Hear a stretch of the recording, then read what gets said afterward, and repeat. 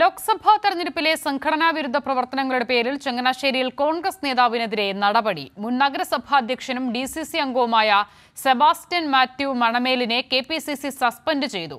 U D F യോഗം അലങ്കോലപ്പെടുത്തി എന്നതടക്കമുള്ള തെരഞ്ഞെടുപ്പ് കമ്മിറ്റിയുടെ പരാതിയെ തുടർന്നാണ് നടപടി. സനോജ് സുരേന്ദ്രൻ ചേരുകയാണ്. സനോജ മറ്റെന്തൊക്കെ കാരണങ്ങളാണ് ഈ നടപടിയിലേക്ക് നയിച്ചത്? അസിത ഇക്കഴിഞ്ഞ ലോക്സഭാ തെരഞ്ഞെടുപ്പിൽ ചങ്ങനാശ്ശേരി നിയമസഭാ മണ്ഡലത്തിൽ കോൺഗ്രസ് പാർട്ടിയിൽ ശക്തമായ വിയോജിപ്പും പ്രതിസന്ധികളും ഉണ്ടായിരുന്നു. ഗ്രൂപ്പ് തിരിഞ്ഞ നേതാക്കന്മാർ പോരടിക്കുന്ന സാഹചര്യം ചങ്ങനാശ്ശേരിയിൽ ഉണ്ടായിരുന്നു ഇതുമായി ബന്ധപ്പെട്ടുകൊണ്ട് തെരഞ്ഞെടുപ്പിന് ശേഷം നടത്തിയ കോൺഗ്രസിന്റെ അന്വേഷണ സംഘത്തിന്റെ തീരുമാനപ്രകാരമാണ് ഇപ്പോൾ ഒരാൾക്കെതിരെ നടപടി എടുത്തിട്ടുള്ളത്. മുൻ നഗരസഭാ അധ്യക്ഷനും ഡി സി സി അംഗവുമായിട്ടുള്ള സെബാസ്റ്റ്യൻ മാത്യു മണലേലിനെ മണമേലിനെയാണ് കെ പി സി സസ്പെൻഡ് ചെയ്തത്. യു ഡി എഫ് യോഗം അലങ്കോലപ്പെടുത്തി എന്നതടക്കമുള്ള തെരഞ്ഞെടുപ്പ് കമ്മിറ്റിയുടെ പരാതിയെ തുടർന്നാണ് നടപടി.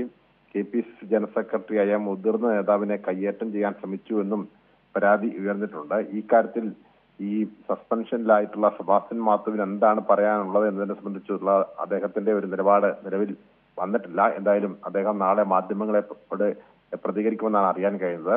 എന്തായാലും കോൺഗ്രസ് പാർട്ടിയിൽ രൂപപ്പെട്ടിരിക്കുന്ന ഗ്രൂപ്പ് പ്രതിസന്ധിയാണ് ഇപ്പോൾ ഈ സസ്പെൻഷനിൽ എത്തിച്ചിട്ടുള്ളത് അസിത.